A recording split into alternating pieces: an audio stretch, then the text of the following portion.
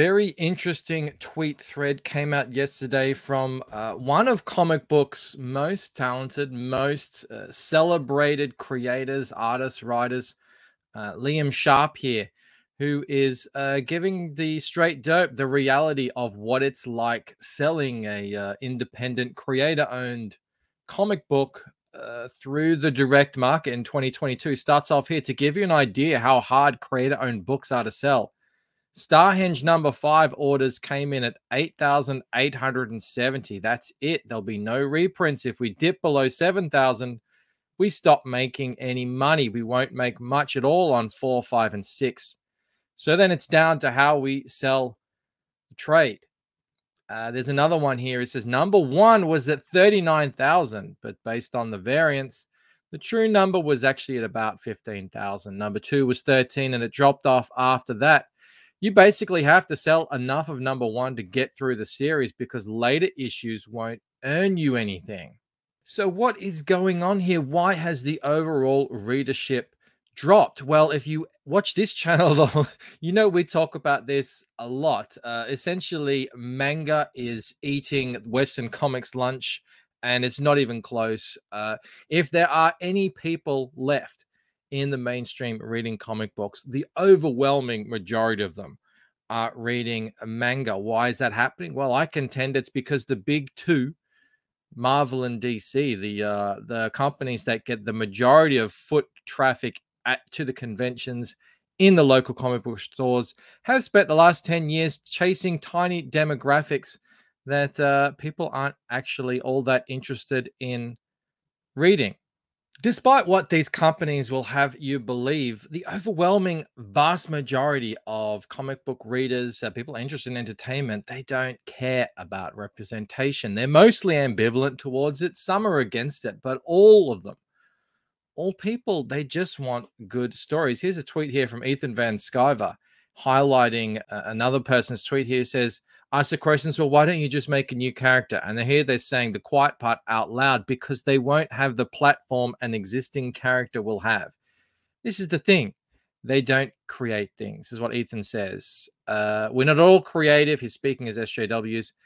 It takes too long to build a platform, so we've ruined what other people have already built in order, in order to spread our poisonous identity politics instead uh, this stuff doesn't sell comics. It doesn't keep people reading. It doesn't inspire new readers to jump on board, especially readers who are younger, children.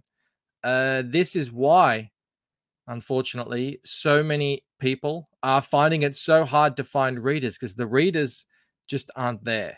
They have gone. Uh, placating to this sort of nonsense, it's driven the audience away from comics. So, um, and as well, you know, the new younger readers who might be interested in reading comics, then they go into the comic book store, they don't find anything that matches what they've seen in the MCU. So you've now you've got uh, you know decades now of no new young readers coming into this.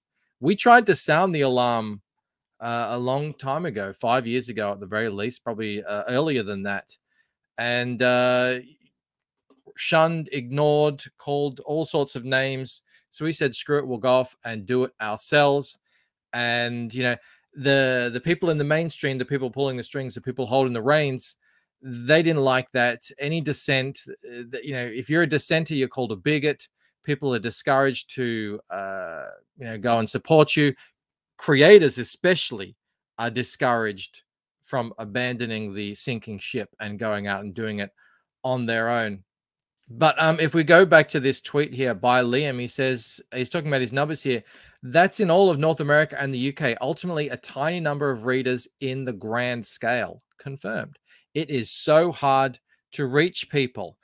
Uh, Comicsgate noticed that five years ago how difficult it is when you aren't on a Batman book or a Spider Man book or a Superman book or an X Men book, how hard it is to reach new readers. We banded together because there's strength in numbers. We discovered. Um, we discovered that YouTube is the best way that we can get our message out and sell books. That method was recently vindicated in a spectacular fashion by Eric July, who managed to sell $3.7 million worth of comics to his own YouTube audience. Um, but as for Liam, I mean, you've got a big name. You are one of the most celebrated artists working today. You haven't been canceled. So, eh, the way I see it, there's really nothing standing in your way to finding success in the indies. I had a comment the other day, however, on a uh, video I did about the new Iron Age uh, creator owned comics that are completely going their own way, not not relying on anything that exists in the mainstream. And uh, someone left a comment and said, "Is there even really interest though in this alternative or indie content?" Which I thought was a really thought provoking question. It's something that we don't ask uh, often enough. You know, demand for the indies has always been small, and you know, in relation to the mainstream. That's why they're the indies, and the mainstream is the mainstream. The mainstream just means popular. Um, but it is growing. It's absolutely growing in certain pockets of the internet. So what you have to do is you have to find your way into those pockets where the interest for this stuff is growing. Jasper's got a tweet here. Jasper from the chat. He says the direct market is broken. Sell directly to your customers like you did with the Kickstarter art book. Yeah, he made a hundred thousand on that thing. Offer bells and whistles, SIGs, remarks, merch. Keep all of your money. Exactly. The the entire, in my opinion, the entire single issue direct market system is propped up by speculators. It's a broke. Uh, just was right. It's a broken system. There is very little demand for that, and it's diminishing year by year. Uh, the real readers, the real readers who are actually interested in the story, I think you had some numbers here. Where were they? Let's go back here. Um, yeah, they, these readers here, uh, where are they here? Scroll up a bit. Uh, yeah, these here are your real readers, the ones that are continuing on. These are the people that were actually interested in what you were doing. These numbers here, these 39K, that's collectors they're the people who are interested in having holding on to the single issue exclusive for you know some potential big uh, netflix series uh, you know a few years down the future.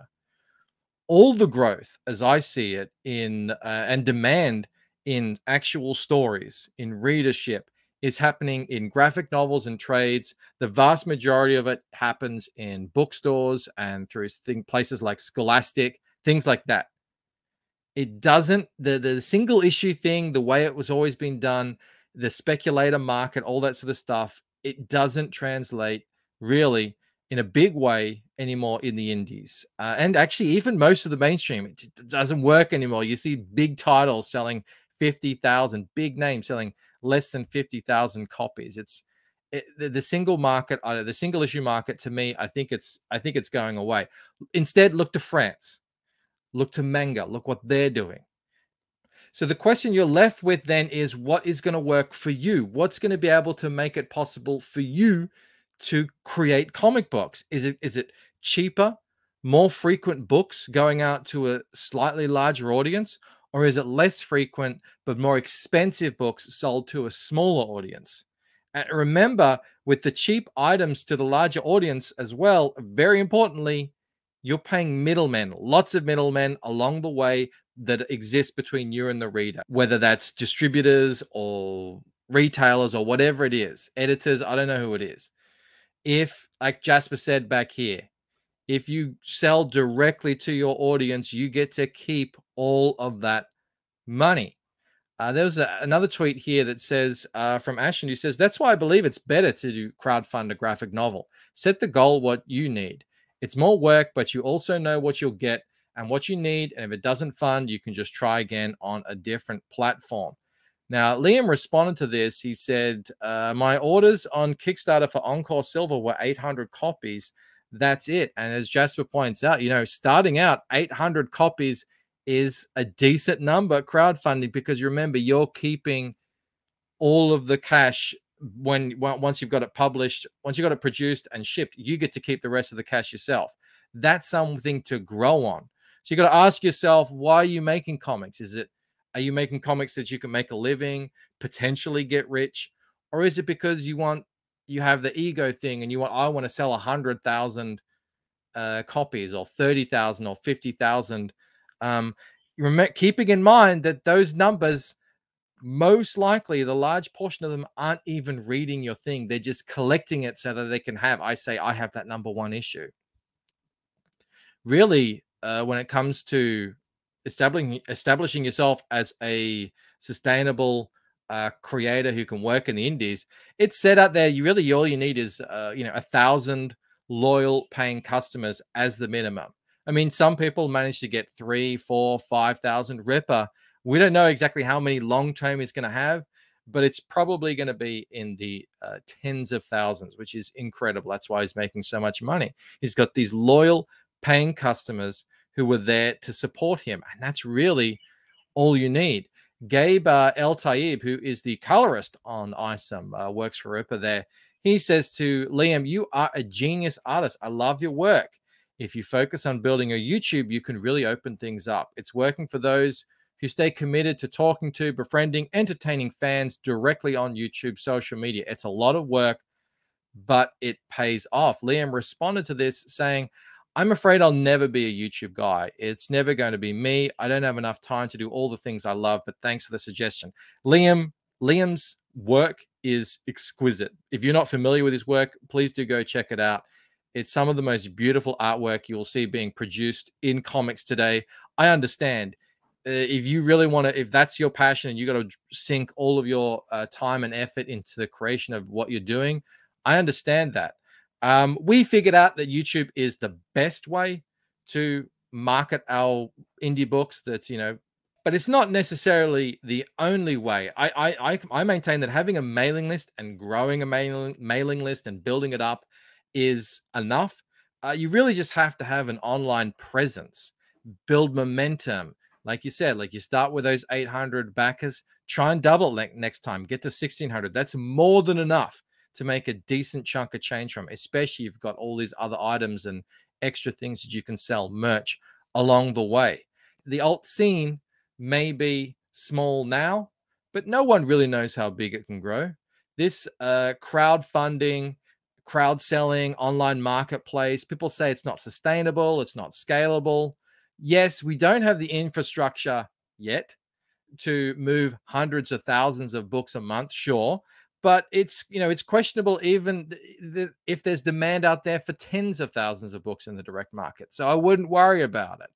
The the the, the people that exist out there on the internet you know for us functionally infinite number of people compared to this dwindling single issue direct market model it's trapped in physical brick and mortar uh, stores and conventions it's constricted it's constricted uh, Whereas if you go online and you build that demand, you be smart about it, inspiring, entertaining. If the demand exists out there for what you're producing, and I guarantee there is plenty of demand out there for an artist and writer like Liam, uh, surely we can figure out a way at that point to um, get the supply to catch up speed with the uh, demand that we're building. Speaking of demand, uh, I've got a thousand signups for this. It's my book, The Lucent Painted Death graphic novel. Uh, please do sign up for exclusive discounts and perks at launch.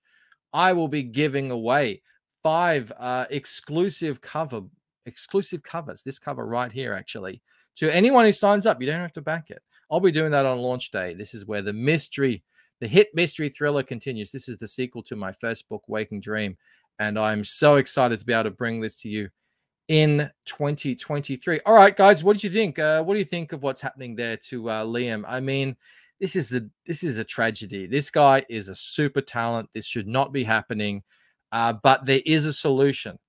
We've we've seen that we've seen it work now for five years straight. Uh, you know, he can get Liam could be a big name, big name in indie comics if he just detached himself from this this uh, you know publisher direct market thing that's my belief anyway. What do you guys think? Please leave a comment uh, in the section there and let me know your thoughts on it. And if you like the video, give it a like, consider subscribing, consider becoming a member. You're helping to pay for the creation of brand new comics as we speak. All right, that's it from me. I will see you next time. Bye.